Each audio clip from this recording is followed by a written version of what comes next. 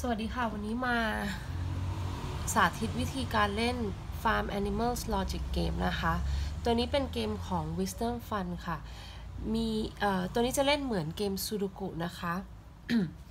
เป็นเกมการฝึกลอจิก มีโจทย์มาให้ 30 โจทย์ ในกล่องเนี่ยนะคะ เปิดมาก็จะมีกล่องซึ่งทุกอย่างเนี่ยจะอยู่ในนี้นะคะ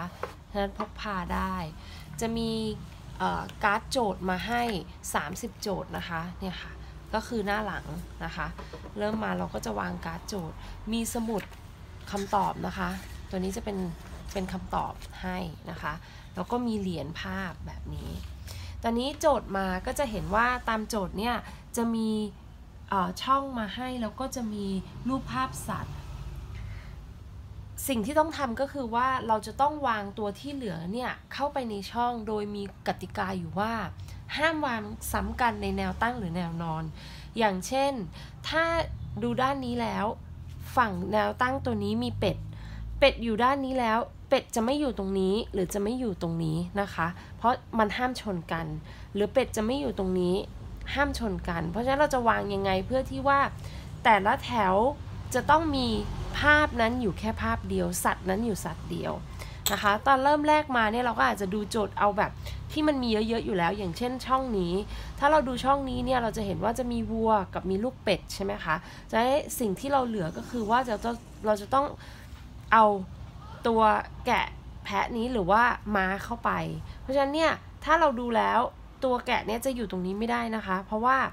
มีแล้วเราก็จะไว้แกะตรงนี้ เหลือม้าม้าก็จะไว้ตรงวางตรงนี้ ตอนนี้เรามาดูอะเดี๋ยวเรามาดูช่องนี้ เพราะช่องนี้เราก็ได้ 2 ตัวละเราเหลืออีก 2 ตัว เพราะฉะนั้นช่องนี้เราจะเหลือตัวเป็ดน้อยนะคะ กับตัววัว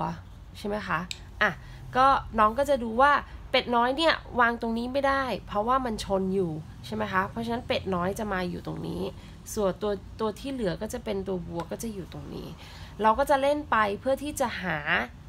หาหาคำตอบวางเข้าไปนะคะ ว่าจะวางยังไงเพื่อที่จะให้มันเข้าไปในแต่ละช่องโดยการที่ไม่ซ้ำกัน